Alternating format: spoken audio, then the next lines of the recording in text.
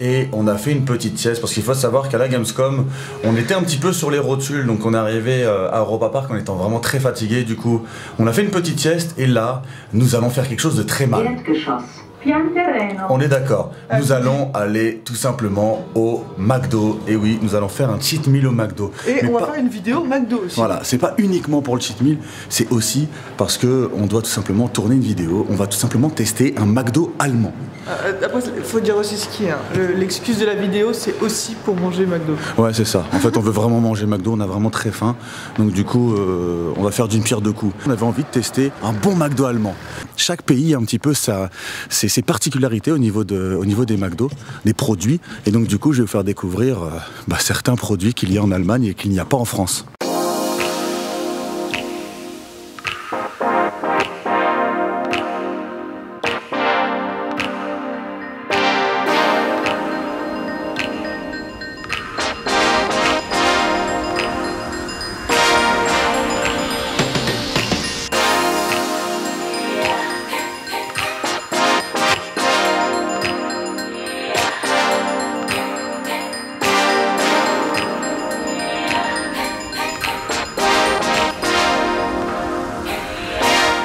Bon allez, c'est parti. À moi de choisir maintenant mon repas.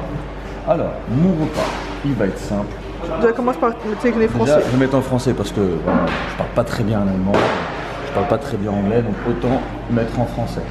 Alors, ça va être simple. Je vais choisir un burger et je vais l'adapter.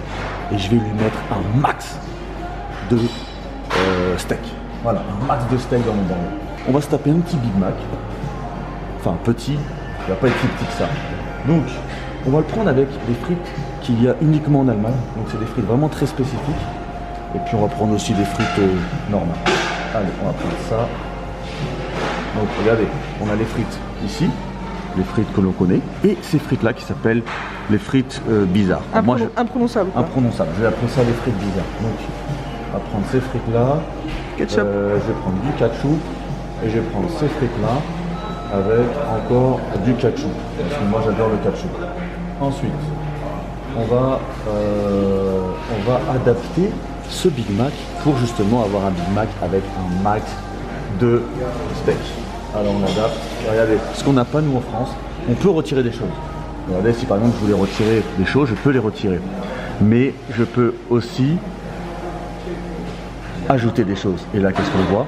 On voit que je peux rajouter des, burgers, des, steaks. Regardez, on, a- regardez, on ajoute 1, 2, 3, 4, 5, 6, 7 et 8 burgers. Euh, 8 euh, steaks hachés. Franchement, ça va faire un truc gigantesque. En plus, il faut savoir un truc, c'est que moi j'adore tout ce qui est euh, wrap. J'adore les wraps, j'adore les burritos. Donc, je vais me taper un petit wrap chicken César qu'on n'a pas en France. Je vais prendre juste le, euh, juste le wrap. Donc, on ajoute ça au panier. Ensuite, en termes de boisson, par contre, moi je vais pas faire comme IPEC. Je vais pas prendre quelque chose de trop, euh, de trop bizarre. C'est où les boissons, les boissons, les boissons?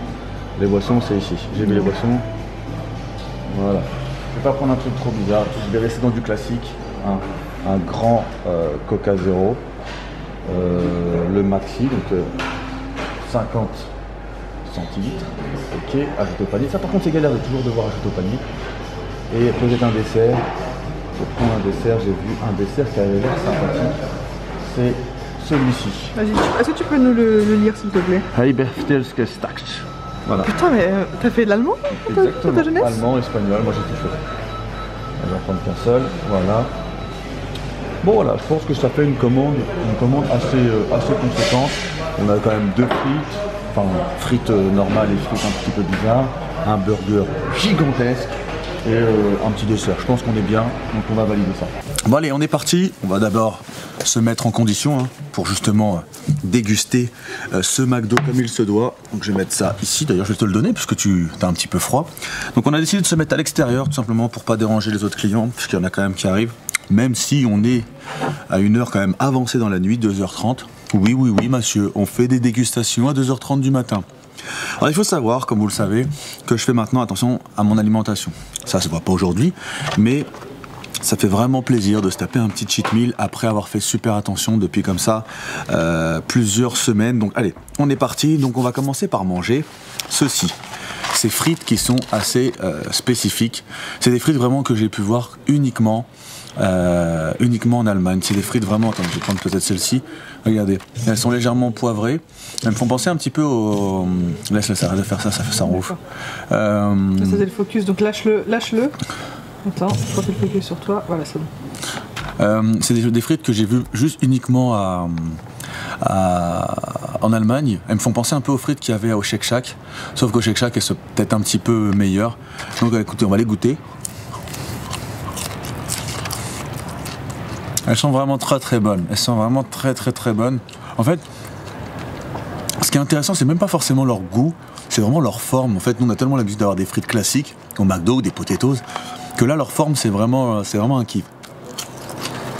C'est vraiment un kiff. Rien, rien que c'est un kiff de manger crade en fait. La vérité, je, je vous dis la vérité, c'est vraiment un kiff de manger crade. Hum, ouais, c'est grave bon. Thank you. Alors, je vais prendre une, petite euh, poignée de frites. Ouais.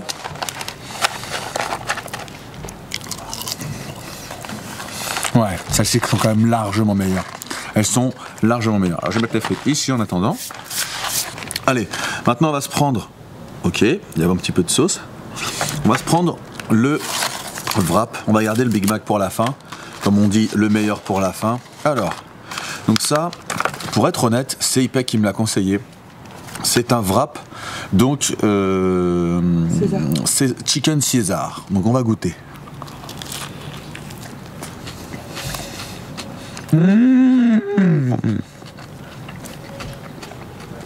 Ah, il est putain de bon.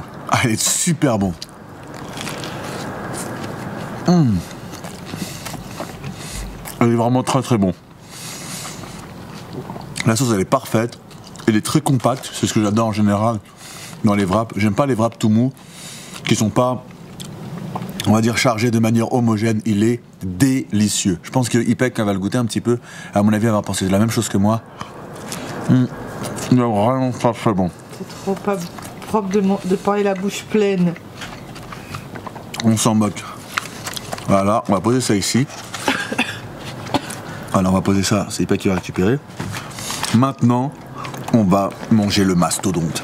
Vous avez vu derrière, vous allez sûrement voir l'arrière, en arrière-plan le Hummer. Et ben là, nous avons tout simplement le euh, Big Mac avec exactement 8, euh, 8 steaks hachés. Est-ce qu'on peut, peut les voir à l'écran s'il vous plaît? On va les voir, on va les voir. Attendez. Après, voilà, ça va être très dur de vous les montrer à l'écran. Regardez. Est-ce que vous les voyez bien? On les voit bien les trucs? Ouais, on les voit grave bien. Voilà. Là, nous avons donc euh, les 8 steaks hachés. Alors. euh, voilà, j'ai pas une bouche très très grande. En plus, ça glisse un petit peu. Voilà, c'est toujours un peu la même chose. hein. Lorsque vous décidez de prendre un burger, on va dire surdimensionné, bah, il a tendance à se barrer un petit peu en couille. Mais voilà, on va essayer de le manger ce burger. On veut devoir prendre une bouchée complète. Voilà.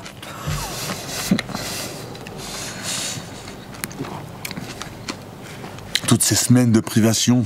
Mmh. Mmh. Trop, trop bon. Après, boit du coca un peu pour parler pour la bouche pleine tout le long, mon cœur. après voilà, hein. Euh, c'est pas le burger qui, euh, c'est pas grave, j'en ai partout, c'est pas grave. C'est pas le le burger le plus innovant, mais c'était tellement kiffant d'avoir autant de bœuf au même endroit. Je vous l'assure. Moi, je suis quelqu'un qui adore la viande rouge. Et là, pour le coup, euh, je me régale. Et le truc, c'est que certaines personnes doivent se dire Ouais, Karim, c'est un peu du gaspillage et tout. Je vous assure que je mets un point d'honneur à ne jamais laisser de viande dans mon assiette. Ça, c'est vraiment. Je peux, je peux laisser, par exemple, des pommes de terre, je peux laisser. Mais la viande, c'est vraiment quelque chose qui me tient à cœur. J'ai des fois tendance à même finir la viande ou peu importe, hein, que ce soit du bœuf, euh, que ce soit euh, de la volaille, je finis tout ce qui est viande euh, dans les assiettes de mes collègues parce que ça me fait tellement mal au cœur de me dire que bah y a du gâchis quoi, tout simplement. Les mastocs ou pas Bon, après ce euh, Big Mac très très big, nous allons goûter ce petit dessert qui d'ailleurs est très spécial. On a pris il y a plein de petites verrues. Oh non, dégueulasse. Alors, on va goûter ça. Donc, c'est censé être à la pomme. C'est la pomme et la cannelle. Ouais. Donc, pomme cannelle. Alors, écoutez, on va goûter ça. J'ai jamais goûté de ma vie. Il paraît qu'à un moment donné, il y en avait en France, mais ils n'ont pas, ils ont pas gardé la, ils n'ont pas gardé le, le- ils ont pas gardé le dessert à la, à la carte. Donc, euh, je vais pouvoir le goûter pour la première fois. Hum, c'est délicieux. En plus, c'est chaud à l'intérieur. Franchement, c'est vraiment très très bon. Hum. La quantité de sucre qu'il doit avoir là-dedans, les potes. Oh là là. Je crois que ce que tu vois d'extérieur, c'est du sucre autour, le glaçage là, comme le glaçage. Je sais pas que ça croustille autant. Je, peux- je peux sentir, ça, ça a beaucoup le goût de cannelle ou pas? Non, ça pas trop. Ça pas trop le. Tu peux goûter. Ah Goûte. non, non, je la sens. Oh non, je la sens de Mais en fait, il y en a à mort. Je voulais la, je voulais la piéger. Il y a à mort la cannelle. Ça se sent à mort.